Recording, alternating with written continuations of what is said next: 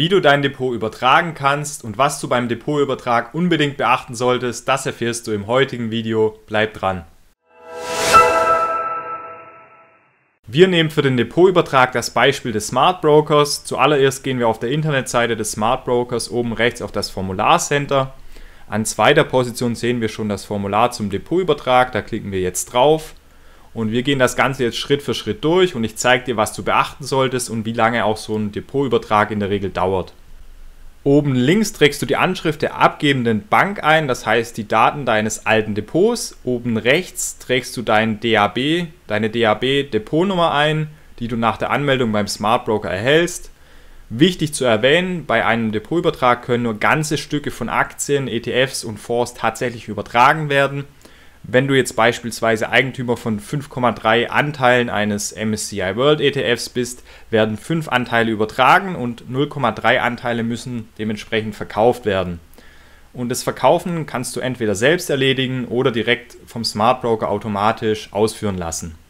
Es folgen hier deine persönlichen Daten, also wer ist der Auftraggeber und wichtig, deine Steueridentifikationsnummer.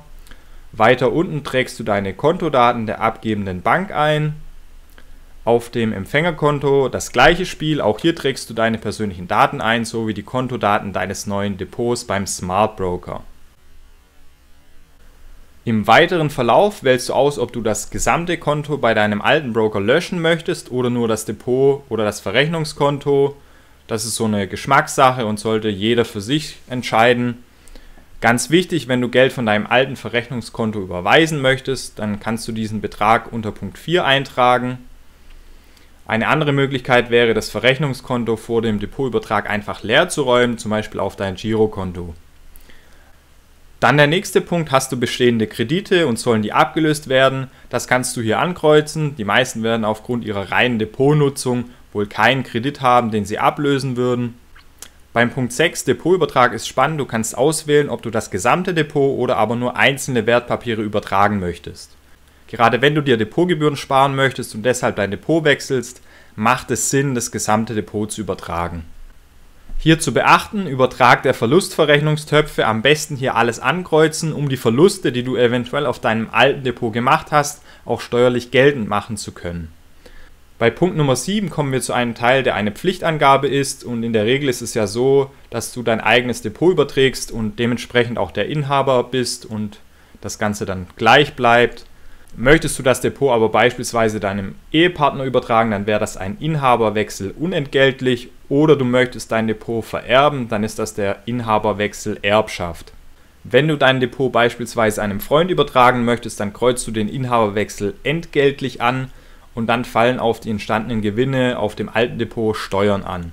Kommen wir zu Punkt Nummer 8, der ist nur wichtig, wenn du nur einzelne Wertpapiere von deinem alten Depot übertragen möchtest und hier gibst du eben die Wertpapiere an, die dann zum Smart Broker sollen.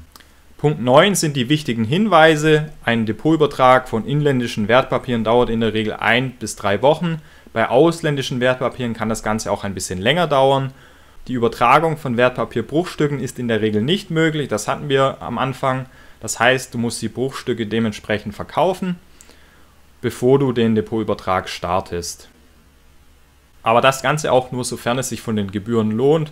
Wenn du jetzt nur 3 Euro für das Ganze bekommst, aber Gebühren von 10 Euro hast, dann würde ich das nicht empfehlen. Es fallen Kosten für den Übertrag an, aber nur, wenn es wie oben beschrieben ein entgeltlicher Übertrag ist. Bei unentgeltlichen Überträgen werden die Daten an das zuständige Finanzamt weitergeleitet zu deiner Info und der letzte Schritt ist dann die Unterschrift des Ganzen und danach kannst du dieses Formular direkt an die DAB schicken die kümmern sich dann um den Rest und schon wäre dein Depotübertrag erledigt. Den Link zum Smart Broker und das Video zur Depoteröffnung findest du unten in der Videobeschreibung. Wenn du über diesen Link ein Depot eröffnest, dann kannst du damit diesen Kanal unterstützen. Ansonsten bleibt mir noch zu sagen, wenn dir das Video gefallen hat, dann hinterlass gerne ein Like und abonniere diesen Kanal für mehr Tipps und Tricks rund um deine Finanzen. Vielen Dank fürs Zuschauen, bis nächste Woche. Ciao.